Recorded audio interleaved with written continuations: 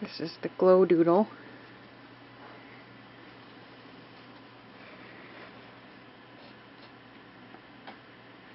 You can press the button on the side to change the color if you don't like the color that you're the light.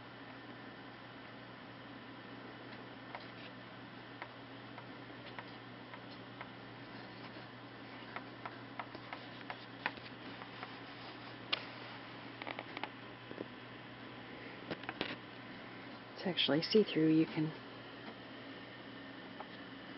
put the hand behind it and see it.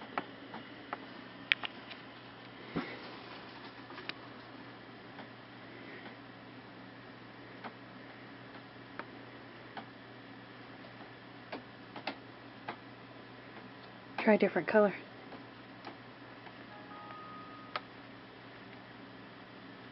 Neat. I think I like it in yellow the best.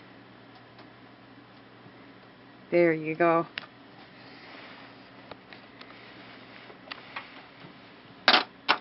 And you press the button at the top there, you just press that and it erases it.